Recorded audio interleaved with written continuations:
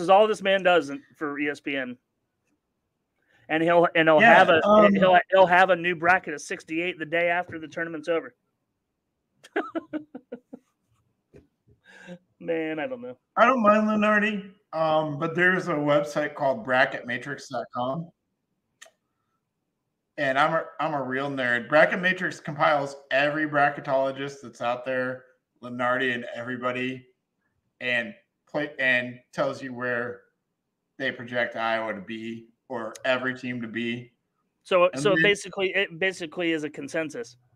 It's a consensus. And then um, once the bracket is released, they do a recap of like how accurate everyone was w- with their final bracketology. Usually, Lunardi is on the lower end of that spectrum. Yeah,